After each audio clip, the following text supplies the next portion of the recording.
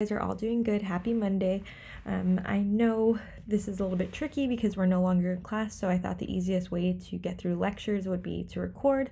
Uh, hopefully, we can do a live lecture sometime next week.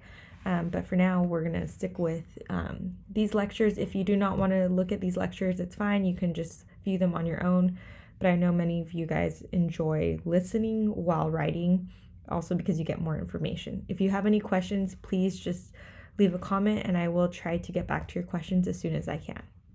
So today we're going to focus on the Great Depression. Your objective for today is students will be able to identify and explain the factors that led to the Great Depression. I think for 99% of you guys, your KWL asked why did it happen and who was to blame. So today that's what we're going to focus on is why did this happen? But unfortunately, there's not one person we can blame it on. Also, just so you guys know, the Great Depression, we're talking about a period between the late 1920s all the way up to World War II. I know many of you guys put that you knew that the Great Depression happened, um, but your time period was a little off. A lot of you guys were talking about to the 2000s. That's actually known as the recession. Uh, that's something that happened more recently, and I know a lot of economists are saying right now too that we're going through another recession.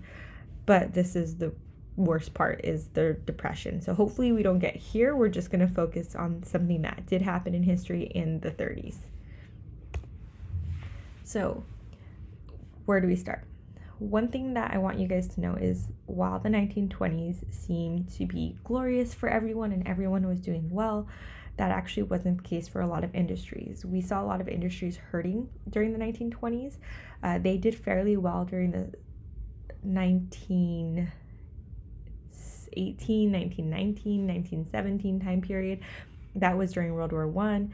A lot of them were being used um, in defense and to help, you know, win the war. But after World War One ends, you usually don't need um, as many products or that company as much as you did before or that industry.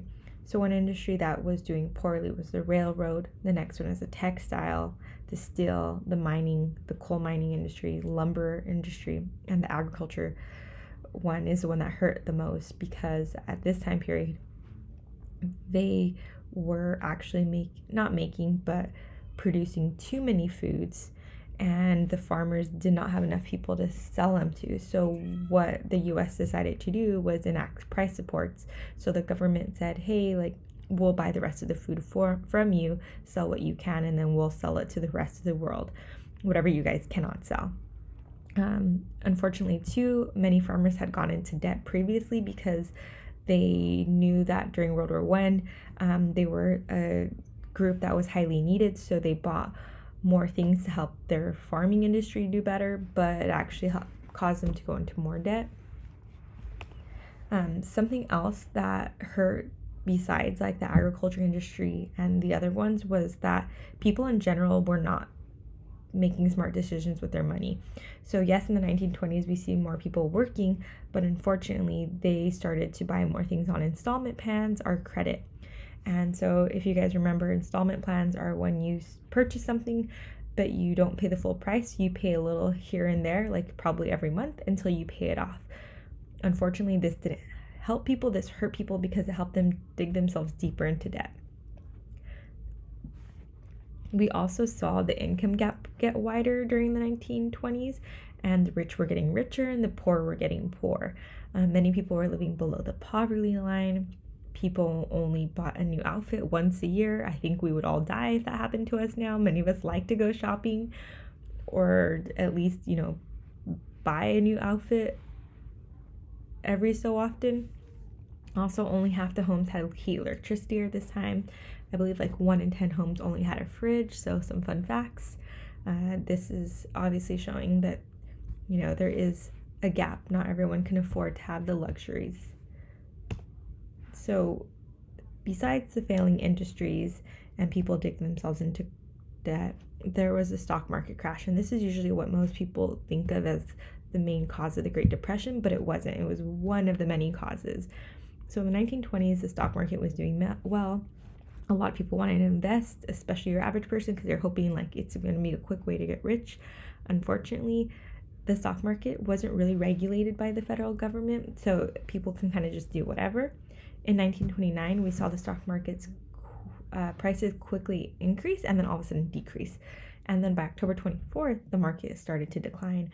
At this point, some investors knew that there was going to be something bad happening, so they started to take their money out. One person who kind of saw this trend was um, John F. Kennedy's uh, great grandfather or grandpa.